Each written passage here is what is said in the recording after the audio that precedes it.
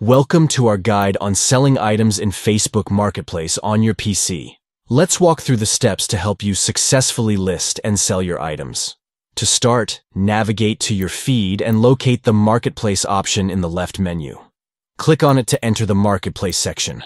Once inside, select Create New Listing, and then choose Item for Sale to begin the listing process. Next, upload a photo of your item by clicking on Add Photos and selecting the image you wish to use from your computer. Ensure the photo showcases your item effectively to attract potential buyers. Now it's time to provide details about your item. Input all the necessary information, including the price. If you're offering the item for free, simply enter zero as the price to mark it as such. After filling in the item information, click on Next to proceed to the next step. If the Next button is inactive, double check that you've completed all the required fields.